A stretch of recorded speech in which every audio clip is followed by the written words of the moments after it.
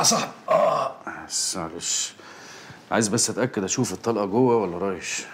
تقريبا رايش. حظك حلو. إيه رايش؟ لا رايش. ومعرفتش هما مين. بسطجيه بيوصلوا رسالة وطلعوا يجروا.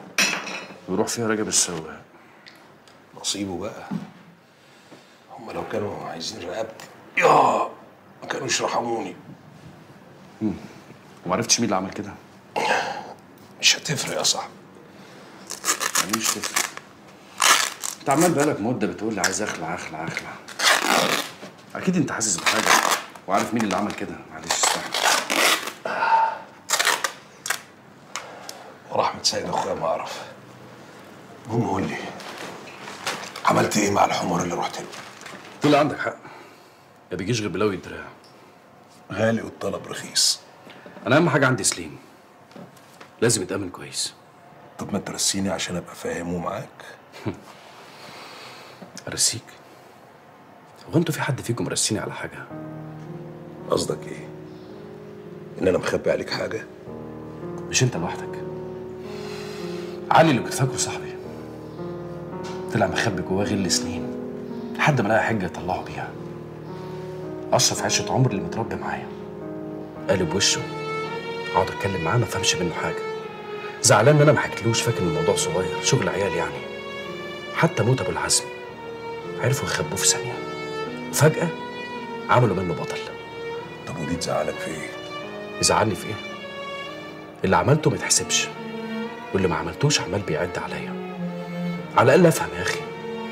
كل ده مش من حق أزعل يا بابا. خيرهم انت.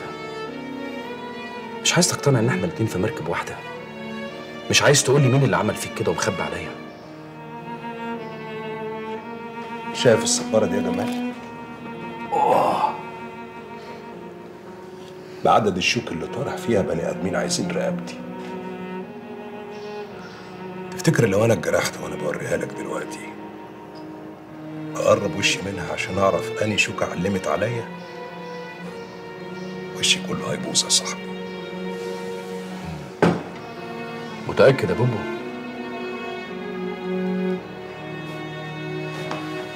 استنى يا جمال.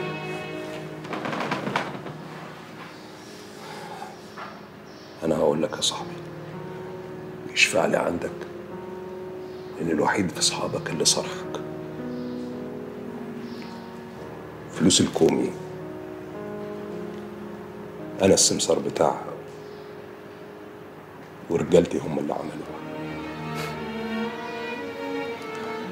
واقف كل ده بتتفرج عليا؟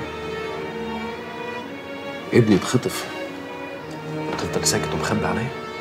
رقبتي كانت تروح قبل ما يحصل لك انت أو سليم أي حاجة.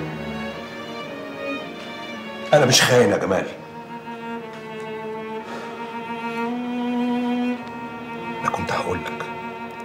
ورحمة سيد أخويا كنت هقول لك بس لما يحين وقته.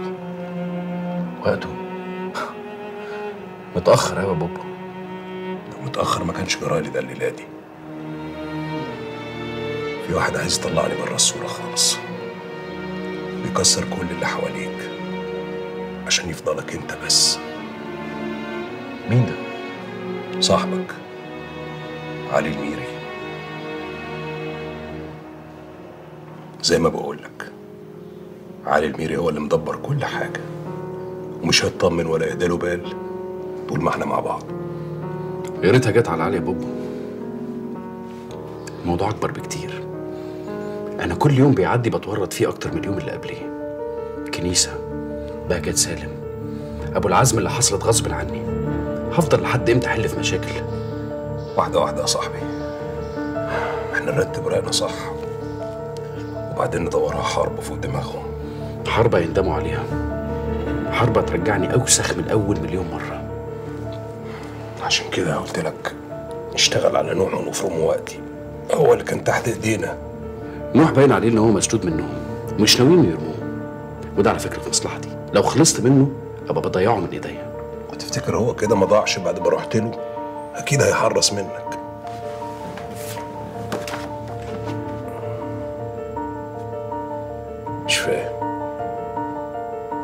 مش فاهم كنتش رحت لقيته قافل ومالي إيده من الناس اللي وراه. لما يبقى معاك مفتاح وتجربه مرة وما يفتحش اوعى ترميه. روح طلع نسخة تانية.